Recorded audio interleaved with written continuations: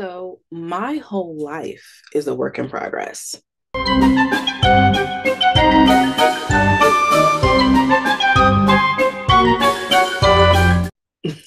this is my WIP update for the month of February 2023. I didn't do one in January because of all the fiasco with my hardware issues. Even now, I am still working out some of those kinks. Um, I've done a couple of videos with another camera that I thought looked really great until I saw them on other like um, devices, you know, my big screen TV and stuff. And the quality just wasn't where I wanted to be. So I'm trying a different camera, and hopefully, this video will look the way I want it to look on all the different devices. Um, this WIP update is not the one that I was hoping to put out there, but this is what I have. So this is what I'm putting out there. So what am I currently working on? Well, um, I'm always working on something, um, but I'm not always making progress on things. Long story short, um, I had all these lofty ideas and goals and things that I wanted to hit this month. And I know the month isn't over yet, but I'm kind of done. of course, I'm going to keep working. But what I mean is, I've hit some walls that didn't allow me to hit a lot of my goals. And I'll explain that in this video. Um, so I always do um, a WIP update from the public YouTube channel, and then I do some in-depth stuff that I share with my Patreon community. So I will be giving them more details, but here's the gist of it. So um, I lost a significant number of blog subscribers this week. um, I don't even know. So I haven't lost all of my blog subscribers, but I, I, lost a lot of them. Now, hopefully, some of these people will realize that they're not getting my blog updates anymore and they'll come and, you know, check me out or whatever. Um, I've listed a bunch of new ways for people to follow me. I know some people have already reached out to me and said, oh, because I was following you this way, I'm still following you but it was basically the people who were my email subscribers um, because I refused to pay for this um, what I thought was a security bug on my um, blogging platform because I'm already paying for a different security thing. Um, at, at no point did they tell me that this security issue was going to remove my blog subscribers. I would have maybe negotiated a way to transfer those subscribers before ending my service with them. But no, they were basically just like, if you're not going to use us, we're going to take all this stuff from you. And that's what happened. I'm not going to even get into details about who did what, name of, of these people.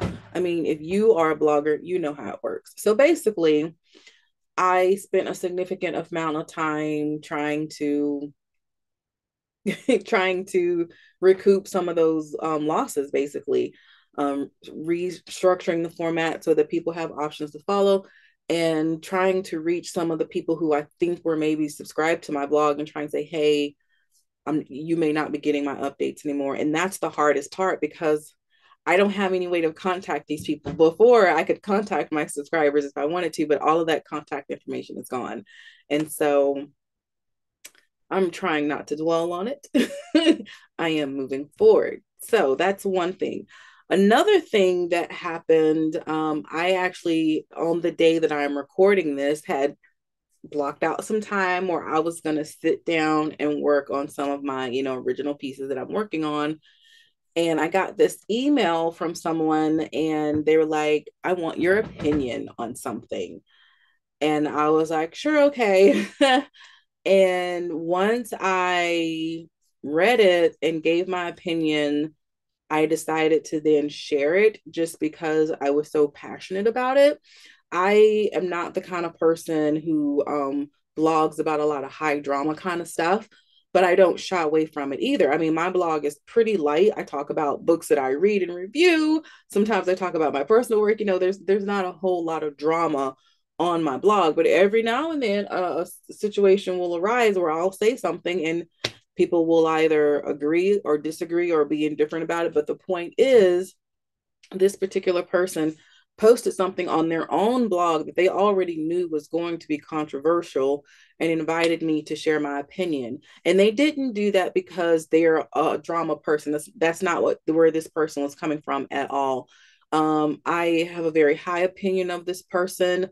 Um, she and I don't agree on this one particular issue, but despite that, I still respect her as a person. And so I just felt, like I said, compelled after, you know, reading her article and posting my comment, which I did post a couple of days late. I got the email a while back, but obviously I was dealing with the drama of my blog and I didn't read it until later.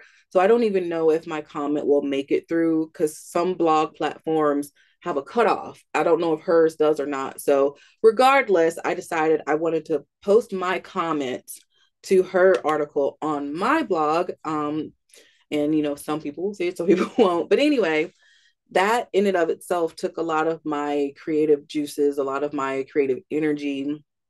And so that was about a thousand, you know, or so words uh, in response to an article that was written that was also about a thousand. So, so basically, I wrote an article um, in response to her article um, without meaning to do so. It just happened that way.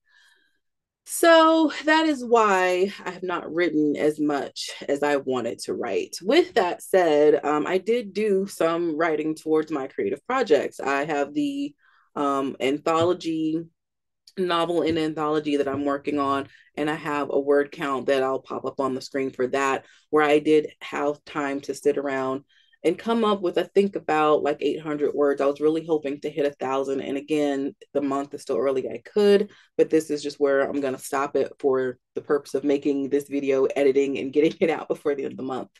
Um, I did um, go back and look at one of my other projects, um, the fantasy. Oh my goodness, I can't even remember the name of my own store stuff right now, but you'll see the name on the screen. But it's basically the um, retelling of the White Stag. Anyway, um, I didn't get very far with it because I think when I started to get kind of my notes together, that's when all of the ish hit the fan, as they say. So um, those are the main two things that I actually kind of like opened up and was trying to do. Um, I was hoping to do a a new like um I do this thing where I do like a writing prompt and do some brainstorming and things like that and and I still could before the end of the month but I don't know um, if that's going to happen. Uh, um, but this is where I am for now. So this is my WIP update. Um, not the progress that I was hoping for, but still in my my whole mantra is if I do something that's better than nothing. Uh, of course, I would always love to do more. And maybe one day I'll have a month where everything doesn't go wrong and I will be able to do more. We'll just have to see now, won't we? so, all right, guys, um, that is my WIP update. That's what I've been working on. Um, I really, truly am hoping to be able to have a better WIP update for you in the month of March. Uh, guys, stay safe and be blessed. Hey, guess what? If you like what you see, you can totally subscribe to this channel. You could also give it a like and leave me a comment. I would totally love that. Okay, bye bye.